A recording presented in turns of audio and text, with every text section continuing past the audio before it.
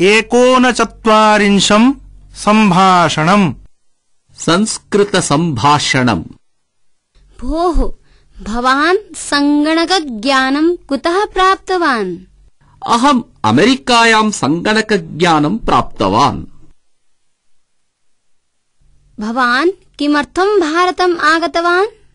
भवतः जननी जनकौ कुत्र स्तः मम जननी जनकौ अमेरिकादेशे स्तः। अहम् संस्कृतशास्त्राणाम् अध्ययनार्थम् भारतम् आगतवान्।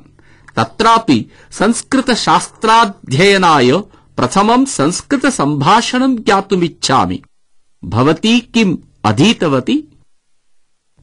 अहम् संस्कृतसाहित्यम् अधीतवती। संस्कृते स्नातकोत्तरपदवीमपि प्राप्तवती अधुना शोधकार्यमपि करोमि।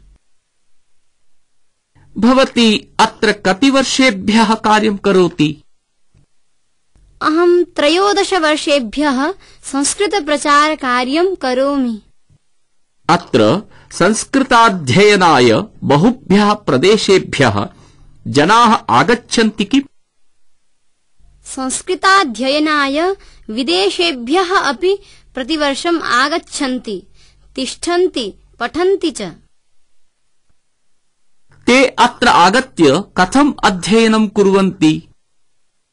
ते अत्र आगत्य पठन्ति किन्तु मन्दगत्या शिक्षणम् भवति। यतः ते शीघ्रम् उच्चारयितुम् न शक्नुवन्ति। किन्तु मासत्रयम् मासचतुष्टयम् वा स्थित्वा सम्यग् ज्ञात्वा गच्छन्ति अत्रत्येन संस्कृतवातावरणेन अत्यन्तम् प्रभाविताः भवन्ति। अहम् बहून् विषयान् ज्ञातवान्। धन्यवादः।